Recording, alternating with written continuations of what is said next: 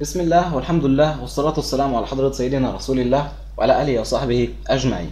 ولأن الإعدادات الافتراضية في ال Foundation بتضيف pixels معينة تقريبا 5 بكسل لعناصر القائمة لأني في الغالب أنا بت- بتكلم عن قائمة ما بتكلمش عن آه أنا بتكلم عن قائمة لينكات.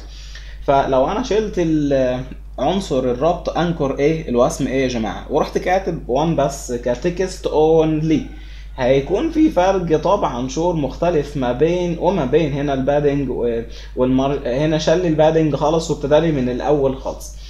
طبعا ده ليه دخل بإيه؟ آه ليه دخل بالمكتبة بتاعه ال reset أو مكتبة ال normalize اللي هي وليكن يعني كانت connected ب Foundation طيب أنا مش عايز السيناريو العجيب ده أنا عايز أقول له لا لا أنا عايز أبقى أحط text وأنا عايزه ياخد ال style بتاع اللينكات بس at the same time أنا مش عايزه يكون link لكن عايزه ياخدوا style اللينكات.